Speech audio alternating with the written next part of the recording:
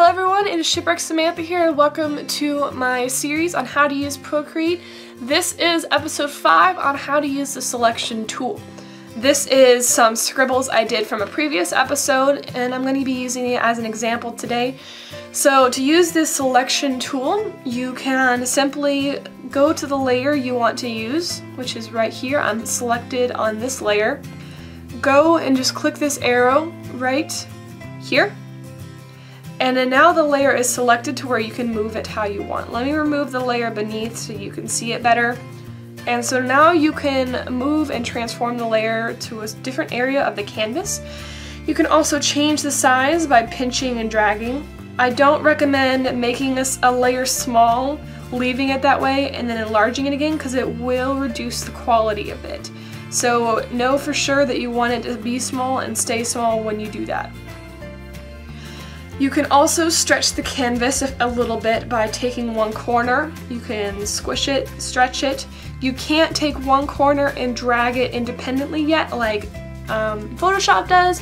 I'm looking forward to when Procreate is able to figure out how to do that, but this is a recent feature to be able to do this variation where it used to be where you could just enlarge it. So I'm glad they were able to do that because that's helpful sometimes. So you can change the shape and size by doing that. There are a few other things down here, so once the layer is selected, you have this bar down here, and you can do a few different things. You can flip the canvas horizontally, you can flip it vertically, you can rotate it by 40, I believe it's 45 degrees um, each way, and then you can click the next button here, these looks like two arrows, and it will fill the canvas with the layer. And then you can also click the X and that will just revert the transformations back to what you had before and there's also an undo and redo button down here.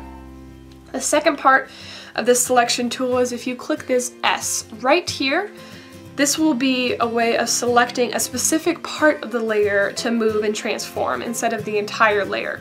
So now I'm on the selection tool so I can just click and drag where I want. I can do this freehand, you can see that dotted line, or you can do straight lines by just clicking where you want. I usually like to do freehand, but this way you can select a certain area that you want. Then, once you have that, you either can click the plus sign, which blocks out everything but the area you traced. So say I can now erase that area that I traced. Or you can do the exact opposite, and if you want to go back to your selection, you just hold down the S button and this bar comes back up. You can do the opposite by clicking the negative sign.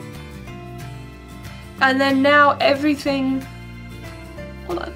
And now the thing, the area I selected is the only thing that I can't touch, so then I can erase everything around it.